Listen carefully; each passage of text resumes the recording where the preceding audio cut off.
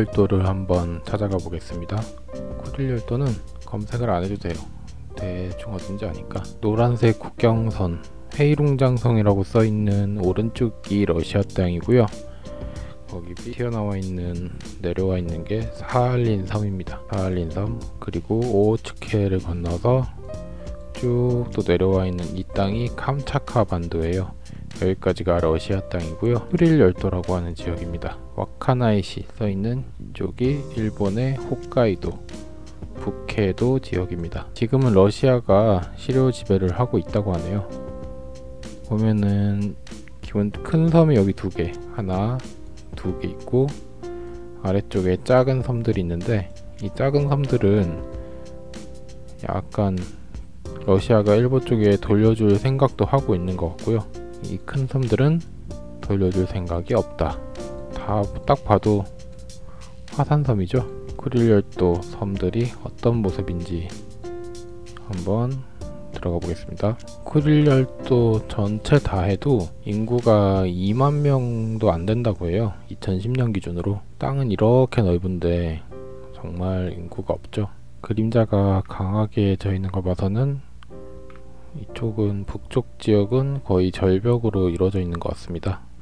시코탄섬 북쪽에 보시면은 여기는 러시아어로 나와 있는 걸 보니까 러시아가 지배하고 있는 지역인 걸 알 수 있습니다. 오키나와의 만자모와 닮은 그런 모습이네요.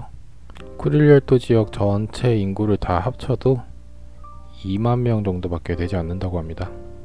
쿠릴열도 지역의 평균 기온은 우리나라의 철원 정도 된다고 해요. 꽤 추운 지역이라고 할 수 있겠죠. 나무도 그렇게 많지 않고 거의 초원으로 이루어져 있는 것 같아요. 이렇게 초원이 형성되어 있습니다.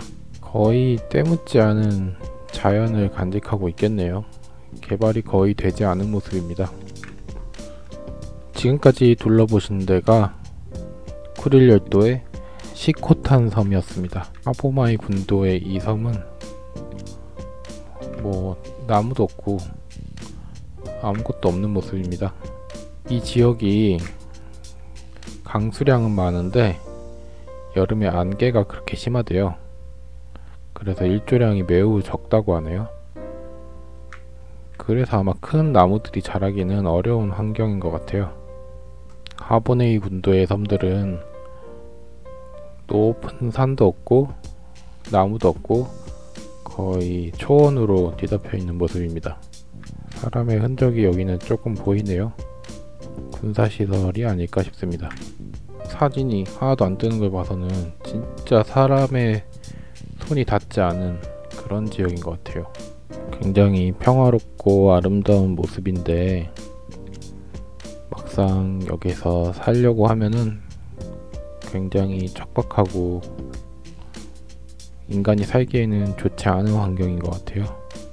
그렇지만 이 지역이 수산 자원은 굉장히 풍부해서 러시아나 일본이나 쉽게 포기할 수 없는 지역인 것 같습니다. 뭐 도로랄 것도 없고 다 풀밭이니까 차들이 이동한 자리가 이렇게 자국이 남아 있는 것 같아요. 차들도 뭐 관광객이나 일반인들은 아닐 거고 어떤 군사적인 목적이나 연구 목적으로 들어와서 움직인 차들이 아닐까 생각됩니다. 이 하보마이 군도는 바로 일본의 네무로시 북해도 네무로와 맞닿아 있어요. 일본의 북해도 쪽은 꽤 개발이 되고 사람들이 살고 있는 모습입니다. 이쪽 일본 북해도 지역이 농업이 굉장히 잘 되어 있더라고요. 넓고 평평한 지역이 많아서 기계식 농업도 많이 하고요. 경작지가 상당히 이렇게 보시면은 경작지가 구획 정리가 상당히 예쁘게 잘 되어 있는 모습입니다.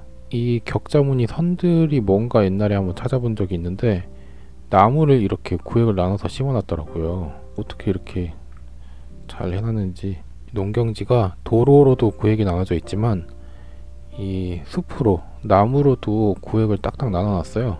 그래서 하늘에서 보면은 이런 모습으로 보여지게 되는 거죠. 어떤 목적에서 저렇게 칸을 나눠놨는지 모르겠지만 상당히 신기한 모습입니다. 여기가 이제 쿠릴 열도의 쿠나시르 섬인데 북해도와 맞닿아 있는 바다를 사이에 두고 이렇게 마주보고 있는 지역입니다. 일본 쪽은 농사도 짓고 있고 도시도 있고 상당히 개발이 되어 있는 모습인데요. 러시아가 지배하고 있는 쿠나시르 쿠릴 열도의 쿠나시르 섬은 개발이 거의 되지 않은 자연 그대로의 모습입니다. 러시아 입장에서는 굉장히 변방이니까 여기를 그렇게 개발할 요인도 별로 없겠죠. 물론 일본도 일본 입장에서도 북해도는 시골이긴 하죠. 뭔가 해류를 따라 퇴적된 지형인 것 같은데요, 모양이. 여기는 높은 산이 있나봐요.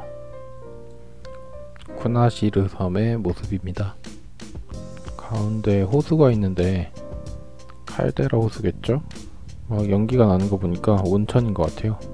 이렇게 색깔 보시면 여기서 땅속에 광물질이 녹아나온 물이 이 호수로 흘러드네요. 뿌옇게. 쿠나시르 섬에는 활주로도 하나 있네요. 우선 활주로가 이렇게 바둑판 있네 완전. 활주로를 타일로 만든 거 아닐까요? 뭐 특별히 개발된 곳도 없이 자연 그대로 남아있는 쿠나시르 섬인데요. 이 지역이 조금 개발이 되어 있네요. 거의 여기만 모여 사는 것 같아요. 그래봤자 작은 마을입니다. 건물 지붕 같은 데 보니까 거의 뭐 가정집은 거의 없는 것 같아요.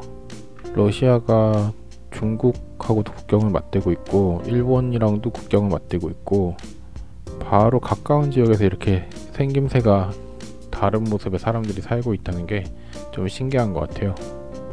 러시아는 북한이랑도 국경을 맞대고 있죠. 그래서 우리도 긴장의 끈을 놓을 수는 없는 것 같습니다. 러시아, 중국 같은 큰 나라들과 국경을 맞대고 있는 만큼 우리도 힘을 길러야 스스로를 지킬 수 있겠죠. 해발 2000m가 넘는다는 산이 바로 이 산인 것 같은데 쿠릴 열도의 상징처럼 보여지는 그런 산인 것 같습니다. 자연환경이 좋아서 사실 관광지로 개발하면은 우리나라나 중국 사람들도 많이 갈 것 같은데요.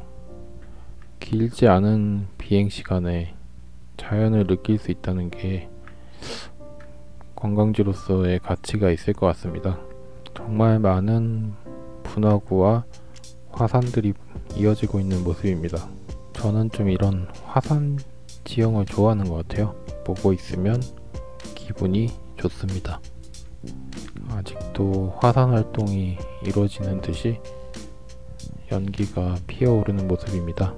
쭉 훑어보면서 오고 있는 섬이 이투루프 섬인데요. 여기도 러시아가 시료 지배를 하고 있는 곳이고요. 정말 많은 화산들이 있네요. 산 정상부를 보시면 아직도 화산 활동이 활발하게 일어나고 있는 그런 섬인 것 같아요. 아름다운 이투루프 섬의 모습을 보고 계십니다. 사람의 흔적을 거의 찾아볼 수 없는 이투루프 섬의 모습이네요. 여기는 거의 어디 외계 행성을 보는 듯한 신비로운 화산 지형의 모습이네요. 구글에 사진이 하나도 안 뜨는 걸 봐서는 사람들이 거의 오지 않는 그런 곳인 것 같아요. 이 넓은 땅에 사진도 거의 없고 사람들의 흔적도 별로 찾아볼 수가 없어요. 한 섬에 이렇게 많은 화산이 있는 거, 경우는 또 처음 보네요. 아, 여기 이 지역은 화질이 왜 이런가 싶었는데 아 이게 눈이 쌓여 있으니까 너무 하얘서 반사가 돼서 이렇게 보이는 것 같아요. 이런데 보시면은 눈이 녹은 지역은 다른 데랑 비슷하게 잘 나와 있거든요. 산으로 가면 이렇단 말이죠. 이게 아, 눈 때문에 이렇게 보이는 거구나. 여기는 호수 같아요. 얼음으로 뒤덮인 호수의 모습입니다 아무것도 없는 해변 파도 부서지는 것 좀 보세요 여기 고기 진짜 많을 것 같은데 너무 하얘서 위성사진에 아무것도 안 보이는 그런 신비로운 모습입니다 이렇게 너무 하해서 아무것도 안 찍힌 지역은 또 처음 보네요. 눈으로 뒤덮여서 뭔가 에러가 난 것처럼 보이지가 않아요. 이렇게 눈으로 뒤덮인 이트로프 섬의 북부 지역입니다. 여기서부터는 크게 뭐 분쟁 지역은 아니고 저기 러시아 캄차카 반도까지 쭉 섬들이 이어지는데요. 다 이렇게 화산 지형에 사람이 살지 않는 그런 모습을 보여주고 있습니다. 바다에 나가서 고기잡이 하시는 분들은 배 타고 여기까지 가시는 분들도 분명히 있겠죠? 우리나라에서 우리가 먹는 명태나 킹크랩이나 이런 것들도 다 이쪽 지역에서 많이 잡힐 거예요.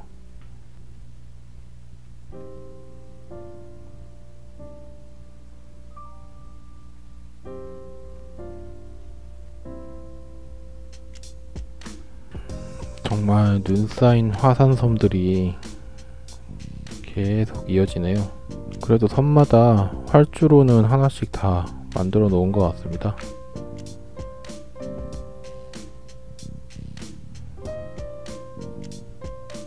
필리핀의 따가이 따이 화산처럼 화산 속에 화산이 있는 그런 지형입니다. 드디어 끝이 보이고 있어요.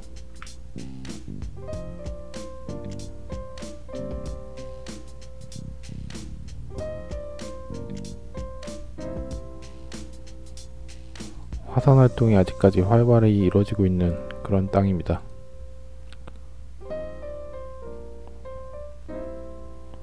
다른 행성에 와 있는 것 같은 그런 풍경을 보여주네요.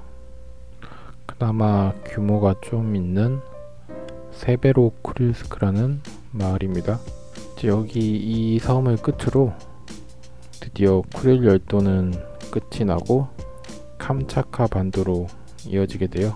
이 섬에서 쿠릴 해협을 건너면 바로 캄차카 반도입니다.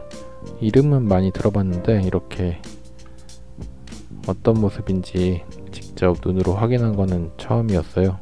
황량하고 춥고 때묻지 않은 자연을 간직한 그런 쿠릴 열도의 모습을 알아봤습니다. 언젠가 기회가 된다면 이런 섬들도 한번 가봤으면 좋겠는데 언제 갈 수 있을지는 모르겠네요. 네, 지금까지 캄차카 반도에서 일본 북해도 사이를 잇고 있는 섬들 쿠릴 열도에 대해서 알아봤습니다. 시청해주셔서 감사하고 오늘도 행복한 하루 보내시기 바랍니다.